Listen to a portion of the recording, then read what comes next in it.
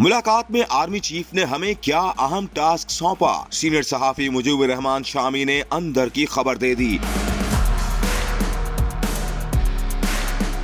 निजी news channel के programme में बात करते हुए सीनियर सहाफी मुजीबुर रहमान शामी ने कहा कि अनवारुल हक की हल्फ बर्दारी की तकरीब में वो भी शरीक थे। जनरल आसिफ मुनीर भी वहाँ मौजूद थे। उनसे भी मुसाफिहा हुआ। इस मौके पर जनरल आसिफ मुनीर से सवाल किया कि आप मीडिया वालों से मिलते ही नहीं, ये क्या मसला है? इस बात का मुस्कुराते हुए उन्होंने जवाब दिया कि वो मीडिया वालों से डरते हैं। सीनियर सहाफी हफीजुल्ला न्याजी ने आर्मी चीफ की इस बात पर कहा, ऐसा मालूम तो नहीं होता। निगरान वज़ीर वो आगे जी काकड़ साहब। हल्फ बर्दारी की तकरीब थी तो जनरल आसिम मुनीर जो थे तो उनसे मुसाफा हुआ। तो मैंने कहा आपके मीडिया से तो कोई मुलाकात नहीं हमसे तो कोई मुलाकात ही नहीं हो पा रही। ये क्या मसला है? उन्होंने कहा मैं मीडिया वालों से डरता हूँ। रियाजी साहब ने कहा कोई नज़र तो नहीं आता। मुजीब रहमान शामी ने बताया की आर्मी चीफ ने उनसे कहा की आप हमारे बुज़ुर्ग हैं उम्मीद के चिराग रोशन करें। पाकिस्तान के जो मसाइल है वो कोई मसाइल नहीं है उनको आप हल कर सकते हैं। पाकिस्तान के बहुत वसाइल है हमें आगे बढ़ने और अपनी मुश्किल पर काबू पाने की ज़रूरत है। उनको जवाब देते हुए हमने कहा, वो तो दिन रात उम्मीद का ही पैगाम देते हैं और हमारा मीडिया भी उम्मीद के चिराग जलाता है।